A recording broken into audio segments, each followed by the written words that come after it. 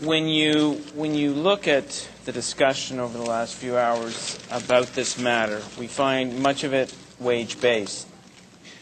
But what we're not looking at is some of the opportunity losses that come with either the threat of a strike or the strike itself. Our responsibility here is to make sure there's a certain level of stability in large urban centers like Toronto, whether it's economic stability, whether it's social stability, whether it's political stability.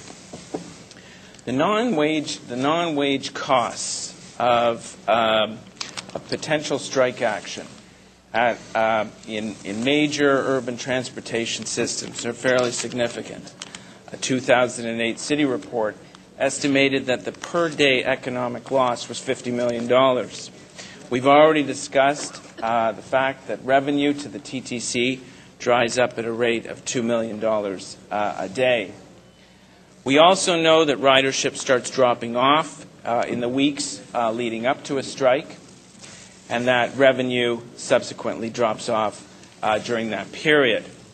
We also know that during a strike period, whether it's 24 hours or a few days, results in our riders um, finding alternative forms of transportation and then settling in with those alternative forms of transportation as well. The weeks leading up to a strike often result in instability in our tourism sector, in our economic development sector, and in other areas.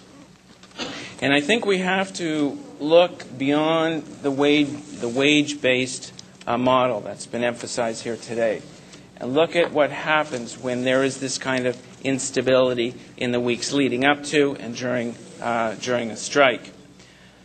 I am of the belief uh, that the right to join a union, the right to the collective bargaining process, the right to a fair wage are, are part of our democratic and economic system, and they should be preserved.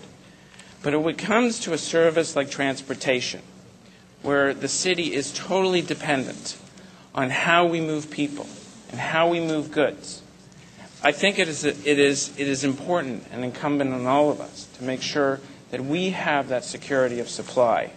And it is not unfair to workers, as has been argued all evening. In fact, it's very generous to workers.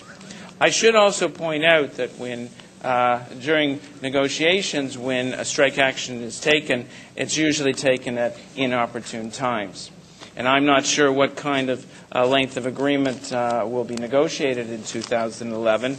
But if it is a um, if it is a three-year agreement and we do not declare it an essential service, I can tell you that this union will go out in the months or the weeks or maybe on the eve of the Pan Am Games coming to this city.